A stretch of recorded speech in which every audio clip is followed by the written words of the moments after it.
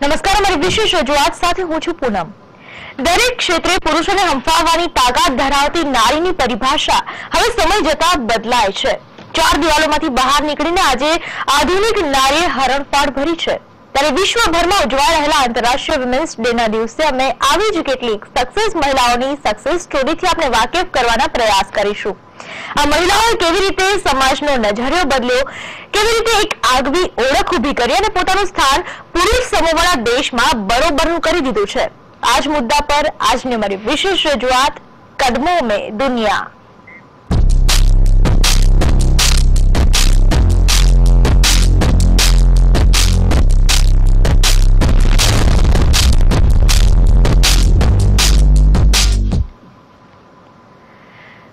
ક્ષેત્રમાં કાઠું કાઢનાર આધુનિક નારી હવે માત્ર આંગળીના વેઢે ગણાય તેટલી નથી રહી.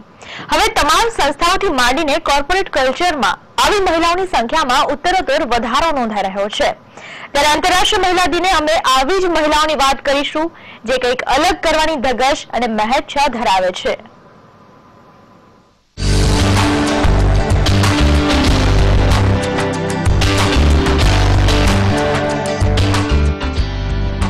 નારી તારા નવના રૂપ. અને આ નવ રૂપમાંનું એક રૂપ છે સામાજિક ક્ષેત્રે હરણફાળ ભરનાર મહિલાઓનું. વાત કરીએ ડોક્ટર શૈલજા ધ્રુવની. જી હા એસએલયુ આર્ટ્સ એન્ડ કોમર્સ કોલેજના સમાજશાસ્ત્રના પ્રોફેસર તરીકે પોતાની ફરજ બજાવનાર શૈલજા ધ્રુવે ઓગણીસો અઠ્ઠાણુંમાં પરિણિત સ્ત્રીઓ પ્રત્યે ક્રૂરતા પર રિસર્ચ કર્યું અને પીએચડીની પદવી હાંસલ કરી. હવે વાત કરીએ અન્ય એક આકાંક્ષી મહિલા, Ruzan ખંભાટાની boy cut hair smiley face and charming look આ છે રૂઝાન ખંભાટા બિઝનેસની દુનિયામાં એક જળહરતું નામ, એટલે રૂઝાન ખંભાટા આઈટી સેક્ટરમાં પોતાના ક્રિએટિવ માઇન્ડના અને કંઈક કરી બતાવવાની ધગશ ધરાવતી રૂઝાનને અનેક સિદ્ધિઓના માલિક બનાવ્યા છે.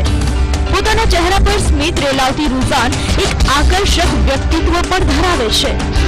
નાનપણથી બિઝનેસ પરિવારમાં ઉછરેલા રૂઝાનને બિઝનેસ ગુણ પોતાના પરિવારમાંથી મળેલા છે અને એટલા માટે પહેલેથી જ તેઓ કરિયર ઓરિએન્ટેડ છે.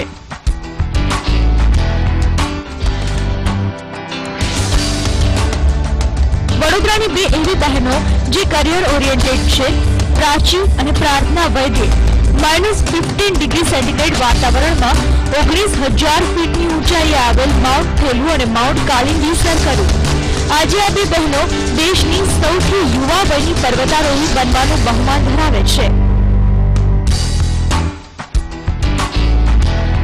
બે હજાર બે ની બેચના ગુજરાત કેડરના આઈપીએસ અધિકારી આમ તો સ્વભાવે શાંત છે, પરંતુ તેમની એક ત્રાળથી ભલભલા ખોખાર આરોપીઓ ફફડી ઉઠે છે. આજે જ્યારે વિશ્વ મહિલા દિવસ છે, ત્યારે તેઓએ પણ સંદેશ ન્યૂઝ સાથે મહિલાઓની વર્તમાન સ્થિતિ વિશે વાત કરી હવે વાત અન્ય આઈપીએસ અધિકારી શોભા ભૂતડાની. દેશના સૌથી ચકચારી એવા આસારામ બાપુ અને નારાયણ સાંઈ કેસની ફરિયાદ તેમની સમક્ષ જ પીડિત બહેનોએ દાખલ કરાવી હતી. ત્યારે આજે સંદેશ ન્યૂઝે જાણવાનો પ્રયાસ કર્યો કે વર્તમાન સમયમાં દેશમાં મહિલાઓની સ્થિતિ વિશે તેઓ શું માની રહ્યા છે? કહેવાય છે, સ્ત્રી એ શક્તિનું સ્વરૂપ છે અને સ્ત્રીમાં રહેલી આંતરિક શક્તિને બહાર લાવવાનું કાર્ય આ મહિલાઓના શિરે જાય છે. ત્યારે સંદેશ ન્યૂઝ આવી જ નારીઓને આંતરરાષ્ટ્રીય વિમેન્સ ડે પર કરે છે, સલામ. Bureau report, Sandesh news.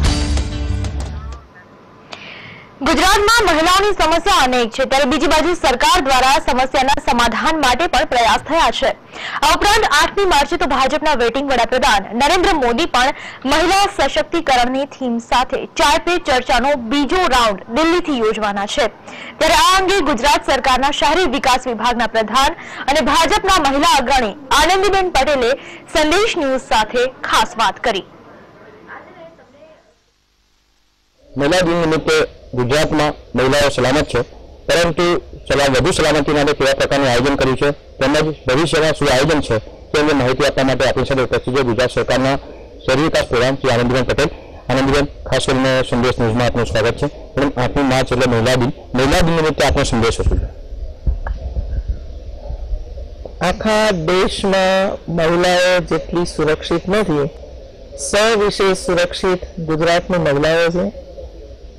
રાતના બાર વાગે કે બે વાગે પણ પિક્ચર જોઈને આરામથી એક દીકરી, યુવાન દીકરી સ્કૂટર ઉપર પોતાના ઘરે જઈ શકે છે. ખેતરોના કામ બહેનો આરામથી કરી શકે છે, એ બધી સુરક્ષા બતાવે છે.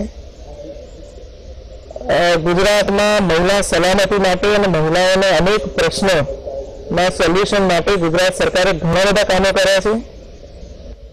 હમણાં જ એકસો ને એક્યાસી નંબરનો એક ટોલ ફ્રી બહેનો દ્વારા શરૂ કરવામાં આવે છે. મહિલા બાલ કલ્યાણ દ્વારા ગમે ત્યાંથી એ ફોન કરે પોતાના પ્રશ્ન માટે, તો એને ચોવીસ કલાક સરકાર એટેન્ડ કરશે. એ અને એનો ખૂબ સારો લાભ આપણી બહેનો લઈ રહી છે એવો. કોઈ પણ પ્રશ્ન, રસ્તામાં જતાં પણ એને કોઈ તકલીફ થાય તો પણ એ ફોન કરી શકે છે. અને સરકારની મદદ અથવા તો આમ સમાજની જનભાગીદારીથી પણ એને મદદ લઈ શકે છે. આર્થિક રીતે સલામત બહેનો બને એના માટે પણ સખી મંડળો દ્વારા પણ આપણે આયોજન કર્યું છે. અને કોઈ પરિવાર જે મહિલાના નામે કોઈ સંપત્તિ ખરીદે, તો સરકાર એમને સ્ટેમ્પ ડ્યુટીમાંથી અને રજિસ્ટ્રેશનમાંથી મુક્તિ આપી છે. અને એટલે છેલ્લા પાંચેક વર્ષની અંદર લગભગ વીસેક લાખ જેટલી બહેનોના નામે સંપત્તિ થઈ છે. તો આર્થિક રીતે પણ બહેનો સંપન્ન બને, એના માટેના પણ આ રાજ્ય સરકારના પ્રયાસો છે. અલગ અલગ રૂપ હોય છે. ક્યારેક દીકરી, ક્યારેકમાં, ક્યારેક પત્ની.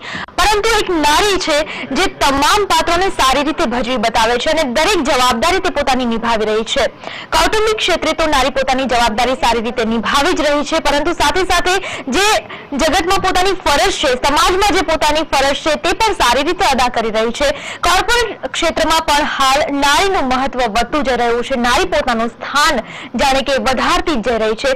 દરેક ક્ષેત્રમાં નારીનું એક આગવું મહત્વ, આગવું સ્થાન જોવા મળી રહ્યું છે. એ પછી બિઝનેસ હોય કે કોઈ પણ સામાજિક ક્ષેત્ર હોય, રાજકીય ક્ષેત્ર હોય, દરેક ક્ષેત્રે હાલ નારી આગળ પડતી જોવા મળી રહી છે. નારીનું સ્થાન જે રીતે વધતું જઈ રહ્યું છે. પહેલાની જે સ્થિતિ હતી, તેમાં પણ ક્યાંક ને ક્યાંક જોવા મળી રહ્યું હતું કે નારીનું જે સ્થાન હતું તે ખૂબ જ અલગ જોવા મળી રહ્યું હતું. પરંતુ અત્યારની જે નારી છે તે ખૂબ જ આગળ, ખૂબ જ વિકાસવંતી જોવા મળી રહી છે. નારીનો જે વિકાસ છે તે ખરેખર સરાહનીય કહી શકાય. નારીનો જે પ્રયાસ છે તે ખરેખર સરાહનીય કહી શકાય. દરેક ક્ષેત્રે આપ જોઈ શકો છો કે નારીનું મહત્વ જે છે, નારીનું જે સ્થાન જે છે, પુરુષ સમોડ બનીને આજે ઊભી છે. પુરુષ જે ક્યારેય એવું નથી કરી શકતો કે જે ઘર અને ઓફિસનું કામકાજ સાથે સંભાળી શકે પણ નારી જે છે જેમાં ભગવાને જાણે કે શક્તિ મૂકેલી છે, નારી પોતે કૌટુંબિક ક્ષેત્ર પણ સંભાળી શકે છે. સાથે સાથે જે કોર્પોરેટ ક્ષેત્ર છે, જે ઓફિસનું જે કામ છે, તે પણ સંભાળી શકે છે. ખરેખર આજના દિવસે દરેક નારીને સલામ કરવી જ રહી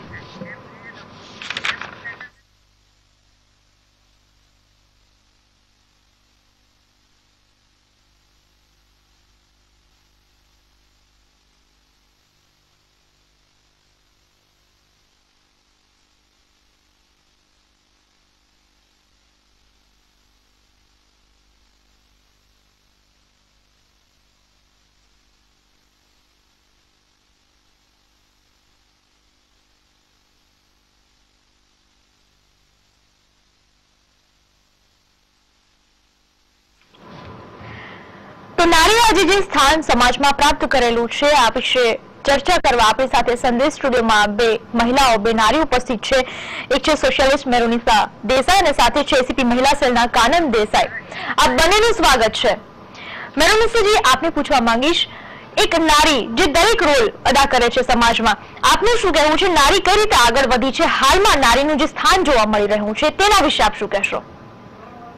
નારી એ કોઈ પણ રીતે પુરુષથી ઉતરતી છે જ નહીં, પહેલા પણ નહોતી આજે પણ નથી અને આવતીકાલ પણ નહીં જ પડે પ્રશ્ન માત્ર એ છે કે મહિલાને પુરુષ પ્રધાન સમાજે વ્યક્તિ તરીકે જોવાના બદલે માત્ર ને માત્ર મહિલા તરીકે જોઈ ક્યાંક એને જે કુદરતી શરીર રચના છે, એનો ગેરલાભ લઈ એને ક્યાંક દબાવવા પ્રયત્ન કર્યો અને એના કારણે શરૂ થઈ. જી. આ બધી જ તમામ જે કઈ વિડંબનાઓ છે તે. જી. પરંતુ આજની નારીને જ્યારે ક્યાંક પણ તક મળે છે તે તક મળતા જ એ પોતાની અંદર રહેલી શક્તિઓ નિર્માણ કરે છે. અને ખૂબ જ ઝડપથી આગળ નીકળી જાય છે. કારણ બેન આપે આટલી સરસ સિદ્ધિ હાંસલ કરી છે. આપ કઈ રીતે આગળ આવ્યા? કેટલો સાથ રહ્યો પરિવારજનોનો? શું કહેશો? હું એવું કહું કે પરિવારની સાથે વગર હું અહીંયા પહોંચી જ ન શકી હોત મારા પેરેન્ટ્સે મને ડૉક્ટર બનાવ્યું છે તો મારા હસબન્ડે મને ડીવાયએસપી બનાવ્યું છે. અને જે સફળતાના શિખર ઉપર હું અત્યારે બેઠી છું, એમાં મારા પેરેન્ટ્સને મારી દીકરીને અને મારા હસબન્ડનો એટલો જ સપોર્ટ છે એમના વગર હું અહીંયા પહોંચી જ ન શકું.